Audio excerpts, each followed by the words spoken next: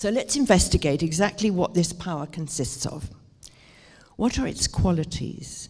And what do those qualities bring in concrete terms to our communities, our workplaces, and to the world? Well, the first is compassion or empathy. Now, it means having the strength to step into the shoes of another, even those we dislike, and understand how they feel and are motivated. This is not simply a quality for the meek and gentle, it actually prevents suicide bombing. I think of Gulalai Ismail in northwestern Pakistan, the most dangerous place in the world to be a woman. And what she does is she organizes and trains young volunteers, men and women, to go into the madrasas, locate the young men who are being trained to be suicide bombers, go home with them to their families, and discuss why the Quran would not approve of suicide bombing. These 223 volunteers have so far reached 4,000 young men at risk and prevented 250 suicide bombings. Thus, compassion is nothing soft. It's the drive not only to feel for others, but to take action, action to help them change. Third one is inclusivity. It means ensuring that the marginalized, the majority world of those without a voice, are brought to decision making. This quality is rooted in the, in the insistence that we're connected, that the other must be included. And this can mean, as in the case of Germany's welcome of refugees, that you have to confront the anger and the prejudice of those who are afraid of diversity and those who would prefer to close borders and keep people out who are fleeing from violence and oppression. Listening is a quality that may sound easy. Most of us think we're good listeners, and most of us are not.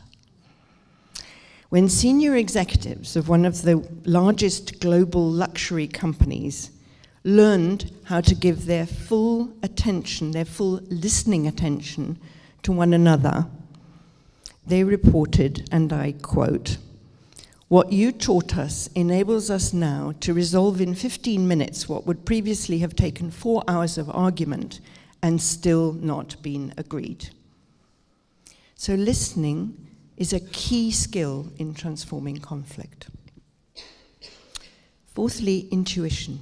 This is another quality that demands and demonstrates profound courage. I think of the Burmese democracy activist Aung San Suu Kyi. Before she became elected, she was often leading student protests in the streets of Rangoon. And one day she was leading student protesters, and they came around a corner and they were faced by a row of machine guns. And she knew that the young men with their fingers shaking on the triggers were as afraid as the students behind her. So she told them to sit down. And she walked on with such calm presence that even when she heard the order given, release safety catches, prepare to fire, she still walked forward until she put her hand on the first gun and lowered it. And no one got killed. And it was her presence and her use of her intuition in the instant that prevented a bloodbath. That's what we're talking about. And that has to be practiced and trained. Lastly, interconnectedness. It's the longing to nurture and protect our planet and her resources. The arrogant notion of man's conquest of nature is being replaced by the realization that we need to respect, safeguard, and help regenerate the planetary life of which we are a part. This is evident in the refusal of millennials to work for companies with outdated values. This is leverage.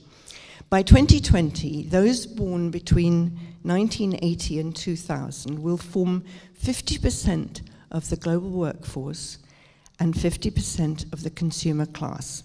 And surveys show, this is really fascinating, that an overwhelming 75% of them, many of them in this room, put in their priorities people, planet, and purpose before profit.